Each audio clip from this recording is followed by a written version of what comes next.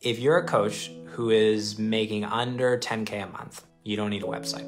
Go look at my website right now. So we did uh, almost 40K in, in cash collected last month. It's literally a one page website with a couple testimonials. If you're in the early stages of your journey as a coach, in the vast majority of cases, building a website is a waste of time. It's gonna be something that just puts you back. It's gonna be a rabbit hole where you go down, you know, and tweak colors for hours and branding and all that stuff. And it's not actually the thing that's really gonna move the needle for you as a coach when it comes to signing clients, when it comes to making money, when it comes to actually getting the results that you want. When does it make sense to build a website? I would say if you're doing, you know, 10 to 20K a month, that range, that's when it starts to make sense to, to really look at, okay, how do I build like an online um, website that people can come to to learn more about me and what I do.